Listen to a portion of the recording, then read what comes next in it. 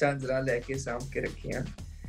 ਪਾਈਆਂ ਨਹੀਂ ਗਈਆਂ, ਵੱਖਰੀ ਗੱਲ ਹੈ, ਪਰ ਲੈ ਕੇ ਜ਼ਰੂਰ ਜੇ ਗੀਤਾਂ ਦੀ ਗੱਲ ਕਰੀਏ ਤਾਂ ਪਾਕਿਸਤਾਨੀ ਆਰਟਿਸਟ ਮੈਂ ਕਾਫੀ ਸੁਣਦਾ ਹਾਂ। ਸਰਤਾਜ ਭਾਜੀ ਨੂੰ ਕਈ ਅਕਸਰ ਸੁਣ ਲੈਂਦਾ ਹਾਂ। ਅਮਰਿੰਦਰ ਭਾਜੀ ਨੂੰ ਤਾਂ ਸੁਣਦਾ ਹਾਂ। ਪਾਰਟਿਕੂਲਰਲੀ ਜੇ ਇਸ ਗੀਤ ਦੀ ਗੱਲ ਕੀਤੀ ਜਾਵੇ ਕਿ ਜੋੜਾ ਝਾਂਜਰਾਂ ਦਾ, ਤਾਂ ਇਸ ਗੀਤ ਨੂੰ ਲੈ ਕੇ ਤਾਂ ਬਹੁਤ ਸਾਰੇ post wedding pre wedding shoots ਵੀ ਹੋਏ।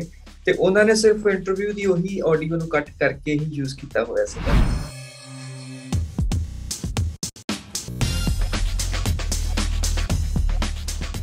ਨਾਈਨ ਐਕਸਟੈਸ਼ਨ ਦਿਲ ਦੀ ਗੱਲ ਸਤਿ ਸ਼੍ਰੀ ਅਕਾਲ ਜੀ ਮੈਂ ਹਾਂ ਵੀਰ ਸਿੰਘ। ਤੁਸੀਂ ਦੇਖ ਰਹੇ ਹੋ 9 ਐਕਸਟੈਸ਼ਨ ਇੱਕ ਜੋੜਾ ਝਾਂਜਰਾਂ ਦਾ ਰੱਖਿਆ ਏ ਲੈ ਕੇ ਮੈਂ ਤੇ ਦਿਲ ਦੀ ਗੱਲ ਕਰਾਂਗਾ 9 ਐਕਸਟੈਸ਼ਨ ਦੇ ਨਾਲ ਲੈ ਕੇ ਮੈਂ।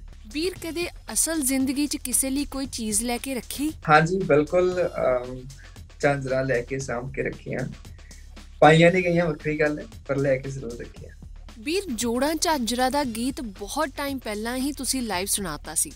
ਫਿਰ ਅਫੀਸ਼ੀਅਲ ਰਿਲੀਜ਼ 'ਚ ਇੰਨਾ ਟਾਈਮ ਕਿਉਂ ਪਾਇਆ? ਮੇਰਾ ਬਹੁਤਾ ਰੁਝਾਨ ਜਿਹੜਾ ਸੀਗਾ, ਉਹ ਫਿਲਮਾਂ ਵਾਲੇ ਪਾਸੇ ਨੂੰ ਹੋ ਗਿਆ ਸੀਗਾ। ਫਿਲਮਾਂ ਦੇ ਬੈਕਗ੍ਰਾਉਂਡ 뮤직 ਨੂੰ, ਸੰਗੀਤ ਨੂੰ ਲੈ ਕੇ ਮੈਂ ਰੁੱਝਿਆ ਰਿਹਾ ਔਰ ਹੁਣ ਜਾ ਕੇ ਇੱਕ ਲੋੜ ਜੀ ਮਹਿਸੂਸ ਹੋਈ ਕਿ ਸਕਰੀਨ ਤੇ ਆਉਣਾ ਚਾਹੀਦਾ ਆ। ਬਹੁਤ ਸਾਰੇ ਚਾਹਣ ਵਾਲਿਆਂ ਦਾ ਵੀ ਇਹ ਸਵਾਲ ਸੀ ਕਿ ਤੁਸੀਂ ਆਪਣੇ ਗਾਣੇ ਕਰਨੇ ਕਿਉਂ ਬੰਦ ਕਰ ਦਿੱਤੇ? ਤੁਸੀਂ ਖੁਦ ਆਪਣੇ ਗਾਣੇ ਲੈ ਕੇ ਕਿਉਂ ਨਹੀਂ ਆ ਰਹੇ? ਔਰ ਪਾਰਟਿਕੂਲਰਲੀ ਜੇ ਇਸ ਗੀਤ ਦੀ ਗੱਲ ਕੀਤੀ ਜਾਵੇ ਕਿ ਜੋੜਾ ਝਾਂਜਰਾਂ ਦਾ, ਤਾਂ ਇਸ ਗੀਤ ਨੂੰ ਲੈ ਕੇ ਤਾਂ ਬਹੁਤ ਸਾਰੇ post wedding pre wedding shoots ਵੀ ਹੋਏ ਤੇ ਉਹਨਾਂ ਨੇ ਸਿਰਫ ਇੰਟਰਵਿਊ ਦੀ ਉਹੀ ਆਡੀਓ ਨੂੰ ਕੱਟ ਕਰਕੇ ਹੀ ਯੂਜ਼ ਕੀਤਾ ਹੋਇਆ ਸੀਗਾ। ਤੇ ਮੈਨੂੰ ਆਪਣੇ ਆਪ 'ਚ ਨਾ ਲੱਗਿਆ ਕਿ ਯਾਰ ਲੋਕ ਇੰਨਾ ਪਿਆਰ ਦੇ ਰਹੇ ਨੇ ਇਸ ਗਾਣੇ ਨੂੰ। ਔਰ ਕਿਤੇ ਨਾ ਕਿਤੇ ਮੇਰਾ ਫਰਜ਼ ਬਣਦਾ ਹੁਣ ਕਿ ਮੈਂ ਦੀ ਪ੍ਰੋਪਰ ਆਡੀਓ ਜਿਹੜੀ ਆ ਪ੍ਰੋਪਰ ਵੀਡੀਓ ਜਿਹੜਾ ਆ, ਉਹ ਸਾਰਿਆਂ ਤੱਕ ਲੈ ਕੇ ਆਵਾਂ। ਕਮਬੈਕ ਕਰਨ ਬਾਰੇ ਸੋਚਿਆ ਸੀਗਾ ਐਂਡ ਇਸ ਤੋਂ ਬਿਹਤਰ ਮੇਰੇ ਖਿਆਲ ਕੋਈ ਗਾਣਾ ਹੋ ਨਹੀਂ ਸਕਦਾ ਸੀਗਾ। ਔਰ ਸਚਿਨ ਭਾਜੀ ਨੂੰ ਇਹ ਗਾਣਾ ਬਹੁਤ ਜ਼ਿਆਦਾ ਪਸੰਦ ਸੀ। ਇਹ ਗੀਤ ਮੈਂ ਇੱਕ ਰਿਐਲਿਟੀ ਸ਼ੋਅ ਦੇ ਵਿੱਚ ਸੁਣਾਇਆ ਸੀਗਾ ਔਰ ਸਚਿਨ ਭਾਜੀ ਨੂੰ ਉਸ ਦਿਨ ਤੋਂ ਹੀ ਇਹ ਗੀਤ ਬਹੁਤ ਪਸੰਦ ਸੀਗਾ। ਐਂਡ ਸਾਡੀ ਉਦੋਂ ਹੀ ਇੱਕ ਕਮਿਟਮੈਂਟ ਹੋਈ ਸੀ ਆਪਸ ਵਿੱਚ ਕਿ ਜਿੱਦਣ ਵੀ ਗੀਤ ਕੀਤਾ ਇਕੱਠੇ ਕਰਾਂਗੇ। ਔਰ ਹੁਣ ਗੀਤ ਤੁਹਾਡੇ ਸਾਹਮਣੇ ਆਡੀਓ ਨੂੰ ਵੀਡੀਓ ਨੂੰ ਲੋਕ ਬਹੁਤ ਪਿਆਰ ਦੇ ਰਹੇ ਨੇ। ਤੇ ਮੈਂ ਥੈਂਕਫੁਲ ਹਾਂ ਕਿ ਇਹ ਵਸੀਲੇ ਬਣੇ ਔਰ ਗੀਤ ਤੁਹਾਡੇ ਸਾਹਮਣੇ ਹੈ ਜੀ। ਵੀਰ ਸੁਣਿਆ ਵੀਡੀਓ ਕਨਸੈਪਟ ਵੀ ਤੁਹਾਡਾ ਹੈ। ਵੀਡੀਓ ਕਨਸੈਪਟ ਮੇਰਾ ਤਾਂ ਨਹੀਂ ਹੈ। ਮੈਂ ਸਿਰਫ ਇੰਨਾ ਕਹਿੰਦਾ ਸਾਂ ਕਿ ਝਾਂਜਰ ਲੈ ਕੇ ਕਿਸੇ ਦੇ ਪੈਰ 'ਚ ਪਾ ਦੇਣੀ ਇਹ ਬਹੁਤ ਸੌਖਾ ਕੰਮ ਹੁੰਦਾ ਪਰ ਝਾਂਜਰ ਲੈ ਕੇ ਝਾਂਜਰ ਦੀ ਕੋਈ ਵੀ ਗਿਫਟ ਹੋਵੇ ਉਹਨੂੰ ਲੈ ਕੇ ਸੰਭਾਲਣਾ ਸੰਭਾਲ ਕੇ ਰੱਖਣਾ ਔਰ ਫਿਰ ਉਸ ਦਿਨ ਦਾ ਇੰਤਜ਼ਾਰ ਕਰਨਾ ਜਦੋਂ ਉਹ ਪਾਈ ਜਾਊਗੀ ਜਦੋਂ ਉਹ ਗਿਫਟ ਦਿੱਤਾ ਜਾਊਗਾ ਕਿ ਉਹ ਜ਼ਰੂਰ ਵੀਡੀਓ ਦੇ ਵਿੱਚ ਹੋਣੀ ਚਾਹੀਦੀ ਹੈ ਔਰ ਉਹਨਾਂ ਉਸੇ ਤਰੀਕੇ ਹੀ ਉਸ ਚੀਜ਼ ਨੂੰ ਨਿਭਾਇਆ ਵੀ ਹੈ। ਵੀਰ ਰਾਜਵੀਰ ਜਵੰਦਾ ਅਤੇ ਜਪਜੀ ਖਹਿਰਾ ਦੀ ਫੀਚਰਿੰਗ ਦਾ ਪਲਾਨ ਕਿਵੇਂ ਬਣਿਆ ਇਹ ਪਲਾਨ ਕਮਲ ਭਾਜੀ ਦੱਸੇਗਾ ਉਹ ਚਾਹੁੰਦੇ ਸੀ ਜਪਜੀ ਮੈਮ ਤੇ ਰਾਜਵੀਰ ਭਾਜੀ ਨੂੰ ਲੈ ਕੇ ਆਉਣਾ ਇਹਦੇ ਵਿੱਚ।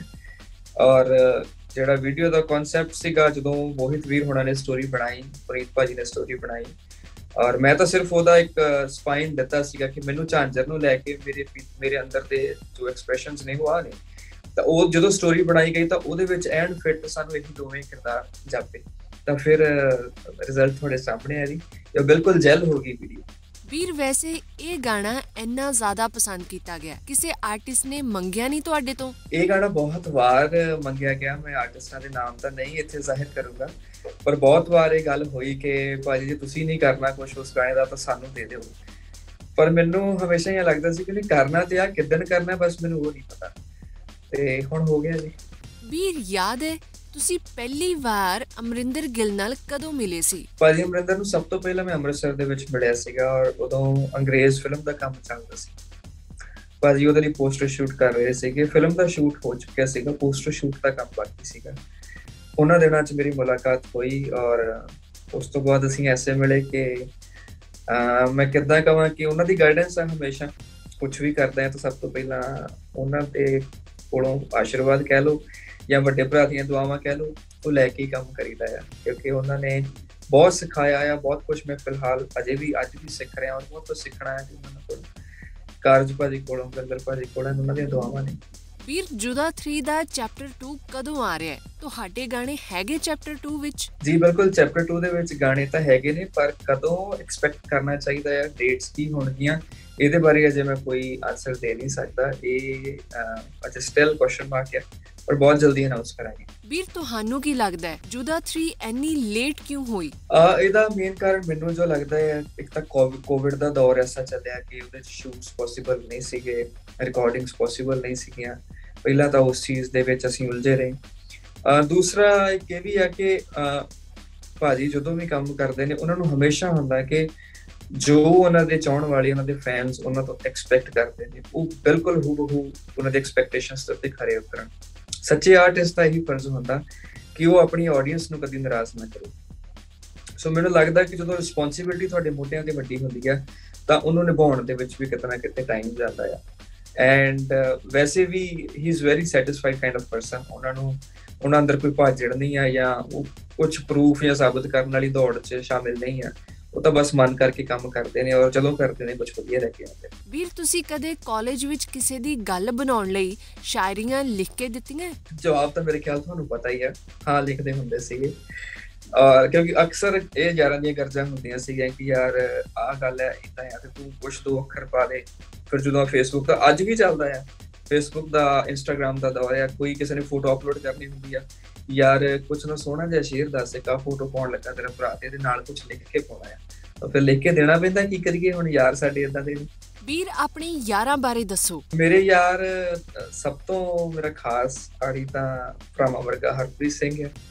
ਖੁਦ ਵੀ ਰਾਈਟਰ ਨੇ ਔਰ ਇੱਕ ਗਾਣਾ ਉਹਨਾਂ ਦਾ ਰਿਲੀਜ਼ਡ ਸੀਗਾ ਰਣਜੀਤ ਭਾਜੀ ਦੀ ਆਵਾਜ਼ ਦੇ ਵਿੱਚ ਸੀਗਾ ਯਾਰ ਤੇਰਾ ਮਾਨਕ ਦੀ ਕਲੀ ਵਾਂਗੂ ਏਰੀਏ 'ਚ ਹਿੱਟ ਬੰਦੀ ਸੋ ਸਭ ਤੋਂ ਜ਼ਿਆਦਾ ਟਾਈਮ ਤਾਂ ਮੇਰਾ ਉਹਦੇ ਨਾਲ ਨਿਕਲਦਾ ਹੈ ਫਿਰ ਦੂਸਰਾ ਮੇਰਾ ਆੜੀ ਹਿੰਮਤ ਸਿੰਘ ਹੈ ਤੇ ਉਹ ਮੇਰੇ ਸਕੂਲ 'ਚ ਮੇਰੇ ਨਾਲ ਪੜ੍ਹਦਾ ਰਿਹਾ ਹੈ ਉਹਦੇ ਨਾਲ ਹੈ ਔਰ ਬਾਕੀ ਮੇਰਾ ਆਲਾ ਦੁਆਲਾ ਭਾਈ ਮੰਨਾ ਸਿੰਘ ਮਿਊਜ਼ਿਕ ਕਰਦਾ ਹੈ ਮੇਰਾ ਉਹ ਮੇਰੇ ਨਾਲ ਕਾਫੀ ਰਹਿੰਦਾ ਹੈ ਸੋ ਮੈਨੂੰ ਮੇਰੇ ਵਰਗੇ ਯਾਰ ਮਿਲੇ ਨੇ, ਕੁਦਰਤੀ ਇਸ ਗੱਲੋਂ ਨਿਆਮਤ ਹੈ ਮੇਰੇ ਤੇ ਕਿ ਸਾਰੇ ਸੋਹਣੇ ਬੰਦੇ, ਚਰਨ ਭਾਜੀ ਅੱਜ ਕੱਲ ਮੇਰੇ ਨਾਲ ਮੇਰੇ ਸਫ਼ਰ ਤੇ ਨੇ ਔਰ ਬਹੁਤ ਕੁਝ ਸਿੱਖਣ ਨੂੰ ਮਿਲ ਰਿਹਾ ਉਹਨਾਂ ਦੇ ਕੋਲੋਂ। ਵੀਰ, ਇੰਨੇ ਸੋਹਣੇ ਸ਼ਾਇਰ ਹੋ। ਕੋਈ ਕਿਤਾਬ ਲਿਖਣ ਦਾ ਪਲਾਨ ਨਹੀਂ ਬਣਾਇਆ ਕਦੇ? ਕਿਤਾਬ ਬਾਰੇ ਅਕਸਰ ਮੈਨੂੰ ਸਵਾਲ ਆਉਂਦੇ ਰਹਿੰਦੇ ਨੇ ਕਿ ਅਸੀਂ ਤੁਹਾਨੂੰ ਹੋਰ ਪੜ੍ਹਨਾ ਚਾਹੁੰਦੇ ਆ ਅਸੀਂ ਤੁਹਾਨੂੰ ਹੋਰ ਸਮਝਣਾ ਚਾਹੁੰਦੇ ਆ ਤੁਹਾਡੇ ਆਈਡੀਆਜ਼ ਨੂੰ, ਤੁਹਾਡੀ ਫਿਲਾਸਫੀ ਨੂੰ। ਜਦੋਂ ਵੀ ਕੋਈ ਗੀਤ ਆਉਂਦਾ ਆ ਤਾਂ ਲੋਕ ਇਹ ਕਹਿੰਦੇ ਨੇ ਕਿ ਹਾਂਜੀ, ਸਾਨੂੰ ਸਕੂਨ ਮਿਲਦਾ ਆ। ਜਾਂ ਜ਼ਿੰਦਗੀ ਜੀਣ ਬਾਰੇ ਇਨਸਪੀਰੇਸ਼ਨ ਮਿਲਦੀ ਹੈ ਸਾਨੂੰ। ਸਾਨੂੰ ਔਖੇ ਸੌਖੇ ਰਾਹਾਂ ਤੋਂ ਅੱਗੇ ਤੁਰਨ ਦਾ ਇੱਕ ਸਬਕ ਮਿਲਦਾ ਆ ਤੇ ਸਾਨੂੰ ਕਿਤਾਬ ਦੇ ਰੂਪ 'ਚ ਵੀ ਤੁਸੀਂ ਸਾਡੇ ਨਾਲ ਚਾਹੀਦੇ ਹੋ। ਪਰ ਸੱਚ ਪੁੱਛੋ ਤਾਂ ਕਿਤਾਬ ਵੱਲ ਮੇਰਾ ਅਜੇ ਤੱਕ ਧਿਆਨ ਗਿਆ ਨਹੀਂ ਪਾਉਂਦਾ ਸੋਚਿਆ ਬਹੁਤ ਵਾਰੀਆਂ ਪਰ ਅਜੇ ਮੈਂ ਉਸ ਤਰੀਕੇ ਨਾਲ ਮਿਹਨਤ ਨਹੀਂ ਕਰ ਸਕਿਆ ਕਿਤਾਬ ਦੇ ਉੱਤੇ। ਸੋ ਮੈਂ ਵਾਅਦਾ ਤੇ ਨਹੀਂ ਕਰਦਾ ਪਰ ਕੋਸ਼ਿਸ਼ ਹੈ ਕਿ ਜਦੋਂ ਕਦੇ ਕੰਪਾਈਲ ਕਰ ਸਕਿਆ ਤੇ ਜ਼ਰੂਰ ਮੈਂ ਇੱਕ ਕਿਤਾਬ ਦੀ ਛਪਾਉਣ ਦੀ ਕੋਸ਼ਿਸ਼ ਕਰਾਂਗਾ। ਵੀਰ ਸਿੰਘ ਕਿਹੜੇ ਕਿਹੜੇ ਆਰਟਿਸਟ ਨੂੰ ਸੁਣਦੇ ਨੇ? ਮੈਂ ਕੁਸ਼ਰੀ ਦਾ ਬਹੁਤ ਸ਼ੌਕੀਨ ਹਾਂ ਜੀ। ਕੁਸ਼ਰੀ ਬਹੁਤ ਸੁਣਦਾ ਆ ਗੁਰਬਾਣੀ ਬਹੁਤ ਸੁਣਦਾ ਆ ਔਰ ਜੇ ਗੀਤਾਂ ਦੀ ਗੱਲ ਕਰੀਏ ਤਾਂ ਪਾਕਿਸਤਾਨੀ ਆਰਟਿਸਟ ਮੈਂ ਕਾਫੀ ਸੁਣਦਾ ਹਾਂ। ਸਰਤਾਜ ਭਾਜੀ ਨੂੰ ਵੀ ਅਕਸਰ ਸੁਣ ਲੈਂਦਾ ਹਾਂ। ਅਮਰਿੰਦਰ ਭਾਜੀ ਨੂੰ ਤਾਂ ਸੁਣਦਾ ਹੀ। ਔਰ ਖਾਸ ਕਰਕੇ ਮੇਰੀ ਮੇਰੇ ਪਸੰਦੀਦਾ ਜਿਹੜੀਆਂ ਚੋਇਸਿਸ ਨੇ ਉਹ ਮੁਹੰਮਦ ਰਫੀ ਜੀ ਲਤਾ ਮੰਗੇਸ਼ਕਰ। ਪਾਕਿਸਤਾਨ ਤੋਂ ਬਹੁਤ ਨੇ। ਆਬਿਦਾ ਪ੍ਰਵੀਨ ਜੀ ਨੂੰ ਬਹੁਤ ਸੁਣਦਾ ਹਾਂ ਮੈਂ। ਇਹ ਚੋਇਸਿਸ ਵੀਰ ਜਦੋਂ ਅਮਰਿੰਦਰ ਗਿੱਲ ਨਾਲ ਗੱਲ ਕਰਦੇ ਹੋ ਤਾਂ ਕਿਸ ਟੌਪਿਕ ਤੇ ਗੱਲਾਂ ਹੁੰਦੀਆਂ ਨੇ? ਭਾਜੀ ਦੀਆਂ ਗੱਲਾਂ ਦੇ ਵਿੱਚ ਅਕਸਰ ਮੈਂ ਪੰਜਾਬ ਦੀ ਫਿਕਰ ਦੇਖਦਾ ਆ ਅਕਸਰ ਮੈਂ ਇਹ ਦੇਖਦਾ ਹੈ ਕਿ ਯਾਰ ਕਿੱਧਰ ਨੂੰ ਜਾ ਰਿਹਾ ਕੰਮ, ਕੀ ਹੋ ਰਿਹਾ ਕਿਉਂਕਿ ਉਹ ਆਪ ਜ਼ਿਆਦਾਤਰ ਕੰਮਾਂ 'ਚ ਰੁੱਝੇ ਰਹਿੰਦੇ ਆ ਕਈ ਵਾਰੀ ਕੈਨੇਡਾ ਹੁੰਦੇ ਆ। ਤਾਂ ਉਹ ਜਦੋਂ ਵੀ ਮੈਨੂੰ ਮਿਲਣਗੇ ਤਾਂ ਉਹ ਪਹਿਲਾਂ ਮੇਰੇ ਕੋਲੋਂ ਗਰਾਊਂਡ ਰਿਐਲਿਟੀ ਪੁੱਛਣਗੇ ਕਿ ਹਾਂ, ਕਿੱਦਾਂ ਚੱਲ ਰਿਹਾ ਸਭ ਹੈ ਫਿਰ ਜਾਂ ਸਾਡੇ ਕ੍ਰੀਏਟਿਵ ਗੱਲਾਂ ਹੁੰਦੀਆਂ ਆ, ਕਿਸੇ ਫਿਲਮ ਦੇ ਕਨਸੈਪਟ ਨੂੰ ਲੈ ਕੇ ਹੋ ਜਾਣ, ਚਾਹੇ ਗਾਣੇ ਨੂੰ ਲੈ ਕੇ। ਔਰ ਉਹ ਬਹੁਤ ਰੈਗੂਲਰ ਰੀਡਰ ਨੇ, ਕਿਤਾਬਾਂ ਪੜ੍ਹਨ ਦੇ ਬੜੇ ਸ਼ਕੀਨ ਨੇ, ਕਿਤਾਬਾਂ ਬਾਰੇ ਬਹੁਤ ਗੱਲਾਂ ਹੁੰਦੀਆਂ ਨੇ। ਉਹ ਮੇਰੇ ਤੋਂ ਵੱਡੇ ਵੀ ਨੇ, ਕਈ ਵਾਰੀ ਫੋਲ ਵੀ ਕਰ ਲੈਂਦੇ ਨੇ ਮੈਨੂੰ, ਛੇੜ ਵੀ ਲੈਂਦੇ ਨੇ। ਬਸ ਇਦਾਂ ਹੀ ਸਾਰੀਆਂ ਗੱਲਾਂ ਤਾਂ ਸਕਰੀਨ ਤੇ ਸ਼ਾਇਦ ਨਹੀਂ ਕਰ ਸਕਦੇ ਪਰ ਉਹ ਕਮਾਲ ਦੇ ਇਨਸਾਨ ਨੇ ਔਰ ਬਹੁਤ ਬਹੁਤ ਕੁਝ ਉਹਨਾਂ ਕੋਲ ਸਿੱਖਣ ਵਾਲਾ। ਵੀਰ ਜਦੋਂ ਆਪ ਗਾਣਾ ਗਾਉਣਾ ਹੁੰਦਾ ਹੈ ਉਦੋਂ ਕਿੰਨਾ ਕੁ ਸੋਚਦੇ ਹੋ? ਨਹੀਂ ਆਪ ਗਾਉਣ ਲੱਗਿਆ ਨਹੀਂ ਸੋਚਣਾ ਪੈਂਦਾ ਦੇਣ ਲੱਗਿਆ ਸੋਚਣਾ ਪੈਂਦਾ ਕਿਉਂਕਿ ਲਿਖੇ ਤਾਂ ਮੈਂ ਹੀ ਹੁੰਦੇ ਆ। ਮੈਂ ਤਾਂ ਆਪਣੇ ਲਈ ਹੀ ਕੋਸ਼ਿਸ਼ ਕਰਦਾ ਹੁੰਦਾ ਲਿਖਣ ਦੀ ਪਰ ਮੈਨੂੰ ਲੱਗਿਆ ਕਿ ਹਾਂ ਕੋਈ ਮੇਰੇ ਤੋਂ ਬਿਹਤਰ ਵੀ ਇਸ ਗਾਣੇ ਨੂੰ ਗਾ ਸਕਦਾ ਤਾਂ ਫਿਰ ਮੈਂ ਡੈਫੀਨਿਟਲੀ ਉਹ ਗਾਣਾ ਅੱਗੇ ਦੇ ਦੇਣਾ ਵੀਰ ਤੁਹਾਡਾ ਸਭ ਤੋਂ ਪਹਿਲਾ ਪੈਸ਼ਨ ਕਿਹੜਾ ਹੈ?